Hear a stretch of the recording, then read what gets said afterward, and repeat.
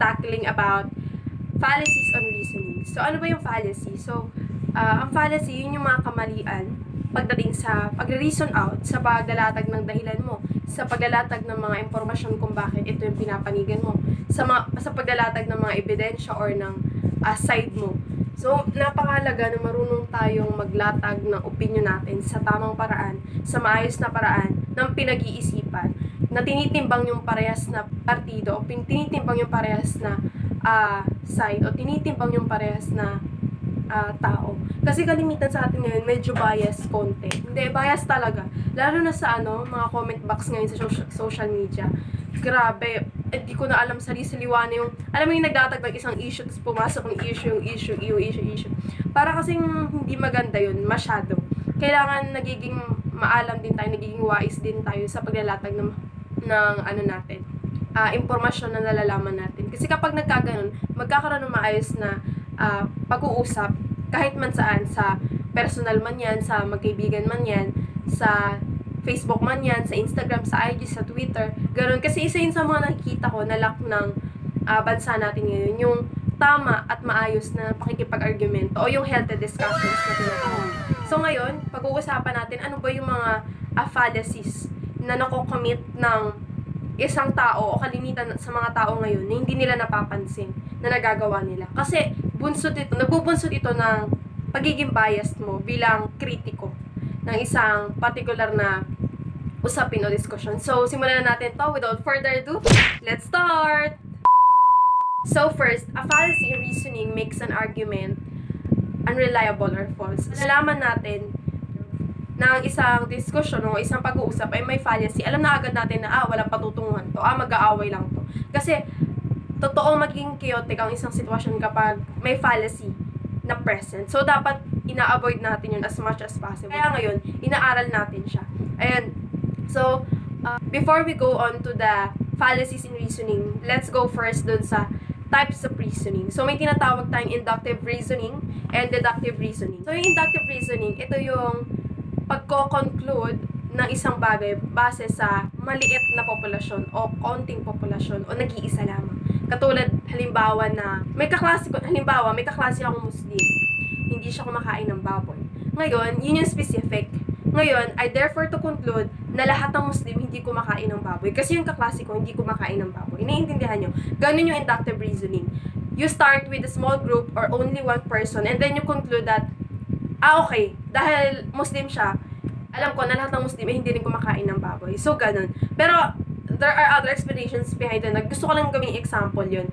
At uh, may mga Muslim alam ko na hindi kumakain, pero wag na natin pag-usapan. Hindi naman yung deal dito. Pinag-usapan natin is yung example ko kung paano nangyayari yung inductive reasoning. Yung deductive reasoning naman, yun yung uh, you start with general to specific. Babalik rin ko lang yung example ko kanina. Ngayon naman, laman mo na ang Muslim hindi kumakain ng uh, baboy. Ngayon, kapag may nakilala kang classmate mo na Muslim, ah, okay, hindi siya kumakain ng baboy. Nagigets nyo? Nagigets nyo yung inductive tsaka deductive reasoning. So, ngayon, sa pag-reason out natin or way na rin ng paggawa natin ng desisyon or pagtingin natin sa isang tao, dito pumapasok yung fallacy. Ang unang type ng fallacy is yung bandwagon. Hindi ko ah. Yung bandwagon. Yung usong-usong bandwagon. Bandwagon. Ako na, hindi porket sikat, yun na yung papanigan mo. Hindi porket yun yung nauso sa atin yung majority wins, yun na yung panalo. Sa isang diskusyon, no, hindi porket yun yung may kapangyarihan, yun na yung panalo. Hindi porket yun yung kilala, yun na yung dapat panigan mo. You should balance the situation. Sino ba talaga may mali? Sa bandwagon, ang pinaka uh, distinctive trait nun, eh kapag may na-attract ka sa appearance, bagay man yan, tao man yan, or na-attract ka kasi famous yung isang tao na nag endorse Katulad na lamang sa bahay nyo ha, o kaya kapag marami yung gumagamit, example na lang sa bahay nyo, kapag ang cellphone sa bahay nyo is Realme, kapag gusto mong bumili, may posibilidad na mag-Realme ka na din, o kaya pag sa isang bahay, puro Vivo, Vivo ka na din. Bakit? Kasi nga, feeling mo, dahil maraming gumagamit, tama na yun. Pero hindi parating ganun, girl minsan, kahit hindi naman mabigat, no, hindi na, wala namang mali kung Vivo or Realme piliin mo. Pero, kung aaralin mo yung specs or kung ano yung gusto mo talaga bilang sa'yo, hindi ka gagaya eh. Ang sinasabi ko naman dito, hindi naman masama gumaya, no? Pero, ah, hindi rin naman masamang aralin muna natin, ganun. Kasi, parang nadadala natin siya pag- pagdating sa argumento. Like, for example, endorser sa TV, sa mga commercials, yung Master Deep Cleanser. Ito yung gamit ng mga gwapo. Ganun. Tapos, ang endorser, igwapo talaga. So, mapapabili ka nang wala sa oras kasi, ala, mas gwapo yung nag-endorse, ganyan, ganyan. Kaya parang, ah, bibiling ko to. Without knowing or without checking kung talagang yung product, eh talagang effective ba talaga. Kasi, naano lang tayo ng looks, ba? Ganun yung bandwagon, ganun kalupet, bias ang bandwagon. Hindi ako naiinis dito ah. Parang sinasabi ko lang na dahil hindi masyadong magaling mag-critic ang tao, dahil nadadala ang tao ng basta-basta lang, hindi niya nagagawang i-check yung hindi niya nagagawang i-check yung mga details ng product, yung kung para saan ba yung product, ah, basta cleanser to, ah, ganyan. Lalong-lalo, makikita natin ang bandwagon kapag may sikat na um, basketballista, may sikat na gitarista, may sikat na ah, sumasayaw. Kapag naging sikat yun, ah, gusto ko na din siya kahit di mo naman talaga fan. Ganun. Yun yung mahirap sa atin. Kasi ang bilis lang natin madala basta trending kasi gusto natin makiuso. Magiging authentic ang isang tao base sa kung paano niya gawing favorite yung isang bagay. Or paano niya gawin or gustuhin yung isang bagay. Hindi sa lahat ng oras, yun yung siguro iwasan natin.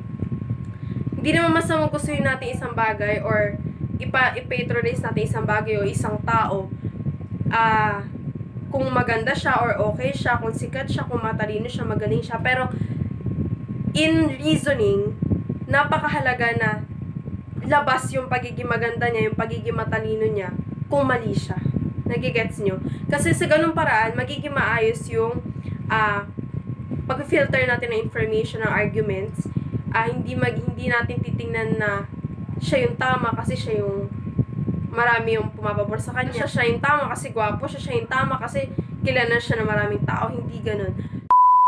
And next is yung hashtag generalization. Ito yung pagko-conclude na ganito ganito yung lahat ng tao base sa nakita mo sa isang tao. Like for example, ah nasa bus ka. Tapos tinarayan ka ng isang bakla. Sinasabi mo na agad na, eto mga bakla na to, ang arte, mga ma-attitude.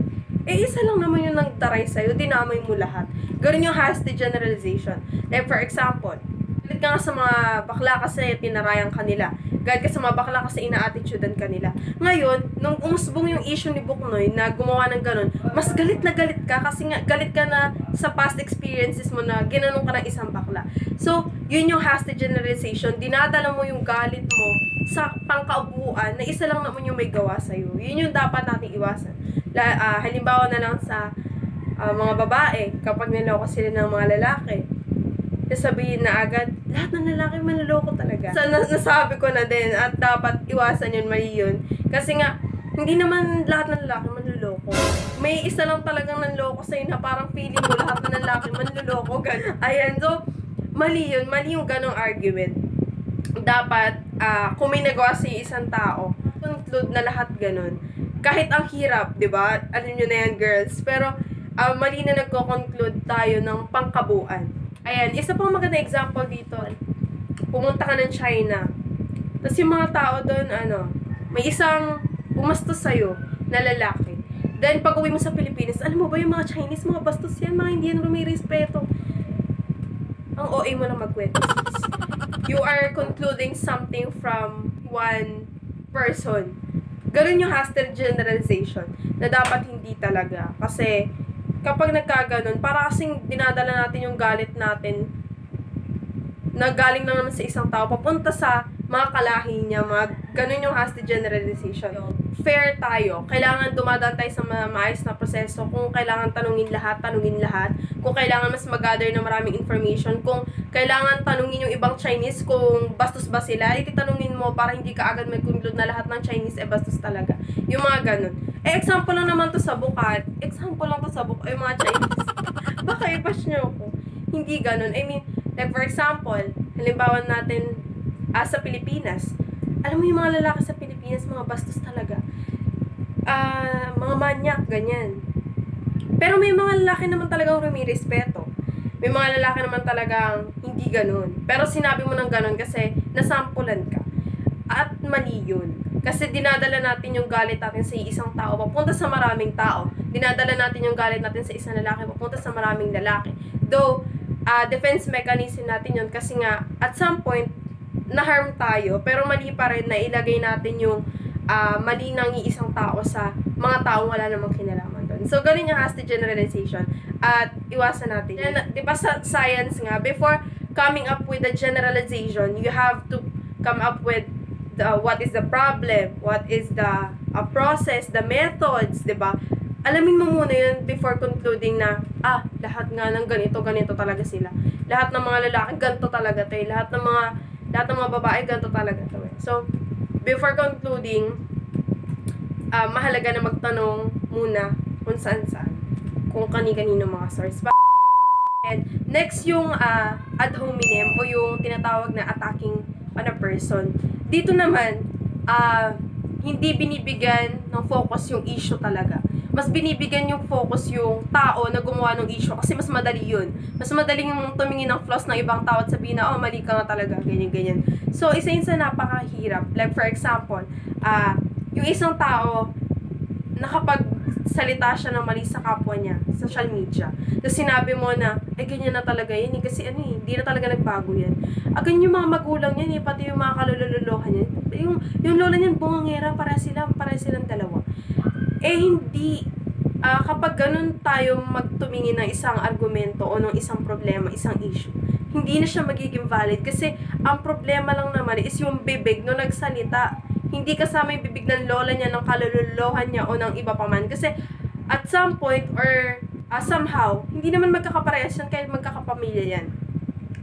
Siya yung may kasalanan, so siya yung i-address mo, hindi yung mga tao na nasa paligid niya. Kaya nga, di ba, yung mga artista, kapag may nagagawa silang mali, lagi nila sinasabi na, ako na lang po, wag nyo na po idama yung pamilya ko. Kasi, ganun minsan yung mga netizen.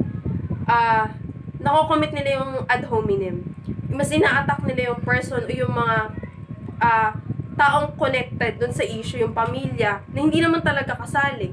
Na mali-mali naman talaga. Kaya wag po natin gagawin yun. Kapag kunyari mali ng isang tao, let's try to understand or i-check kung uh, bakit niya nagawa yun. Ganun dapat tayo tumingin. Eh. Bakit niya ba nagawa yun? Hmm, wag na natin idama yung pamilya niya kasi parang panlalait na yung ganung way pinakasimpleng example ng ad hominem sa magkapatid.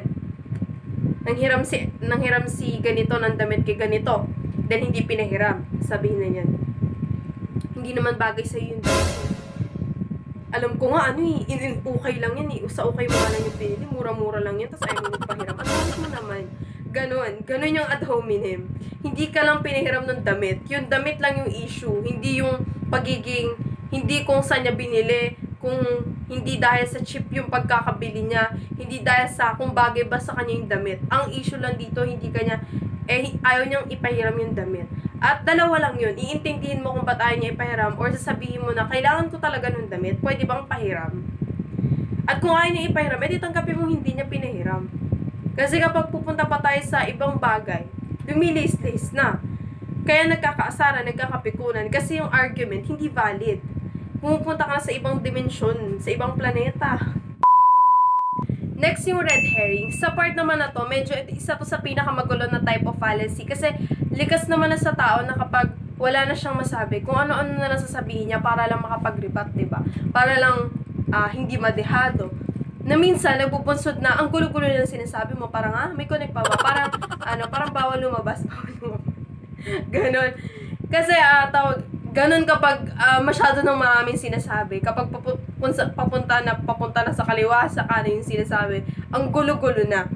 Ganon yung isa sa dapat nating iwasan. Like for example, pag pinag-uusapan, eh yung law ng classroom, huwag ka pumunta sa law ng, law ng, ng CR, law ng, ng church, law ng, uh, ng kumpanya nyo. Doon ka lang sa law ng classroom. Na pinaka last type ng reasoning is yung either or reasoning. So sa part na to, ah, uh, medyo tricky din siya, tsaka biased. Kasi, uh, like for example, kapag sa mga endorsement mo ng commercial, sabihin, kapag ginamit mo tong uh, facial uh, cleanser na to, mahanap mo ang true love mo. O, anong connect mo?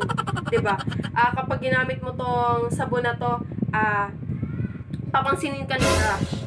Yan, sa totoo lang, sa mga endorsement o sa mga commercial, ang daming fallacy na medyo ang daya din. Siyempre, pero uh, tawag dito, siguro for entertainment lang yan. Pero sa real life situation, uh, nakakomit yung either or or reasoning kapag, halimbawa, sa bata, pag sinabi mo, uh, you will eat an apple or you will get sick. Pinapapili mo siya kung kakain ba siya ng apple o gusto mo magkasakit ka. Hindi ka kakain nito o magkakasakit ka. Halimbawa na lang ng ano, ng gatas. Hindi ka inom ng gatas o magkakasakit ka.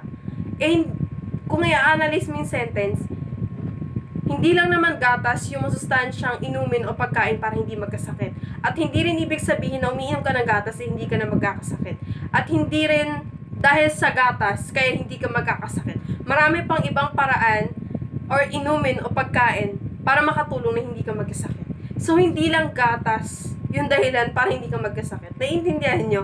Napaka-invalid niya in a way na you are boxing something para lang ilimit yung tao sa pwede niyang gawin. So, yun lang. Sana naintindihan nyo. At kung nakakapag-commit kayo ng mga ganitong fallacy, ah, uh, wala namang masama doon kasi hindi nyo pa alam. Pero, ngayon na alam nyo na, dapat mahalaga na maging sensitive tayo sa mga sinasabi natin. Ang lagi ko lang paalala, let's focus dun sa issue, yung problema. Huwag nating idama yung ibang tao, yung mismong tao. Huwag tayong uh, magdig dun sa history ng buhay niya, sa past experiences niya. Kasi minsan, yun yung nagsisimula ng problema. Eh. Ang problema lang eh, yung pera na punta pa dun sa uh, anak niya, kung paano naghiwalay sila ng pamilya niya, kung paano naging broken-hearted sila, kung paano nabaon sila sa utang. Eh, ang problema lang naman eh, hindi kayo nagkaintindihang dalawa. So, yun lang yung problema. At yun lang yung dapat bigyan ng solusyon para hindi tayo nakakatapak or nakakasakit ng ibang tao. So, yun lamang. Uh, sana may naitulong ako sa inyo, may na-share ako sa inyo na sa ganitong paraan, mas maayos tayong mailalahad yung mga sa loobin natin, yung mga uh, insights natin, yung side natin, nang hindi tayo nakakasakit ng ibang tao. Parati natin iisipin na yung dila natin isang makapangyarihang part ng buong katawan natin na Isang galaw lang yan, pwede ang makapagbabago ng buhay, makapagpalumo ng buhay ng isang tao, pwede ang makasira ng buhay ng isang tao. Kaya napakalaga na watch our words because it becomes our action and definitely it will give positive or negative vibes sa tao na kausap natin. So, yun lang. Maraming salamat. Pa ang mga konting paalala, magugas ng kamay, magmask, kumain ng mastansyang pagkain, at higit sa lahat, manatiling maganda. Maraming salamat, Chris Bye-bye!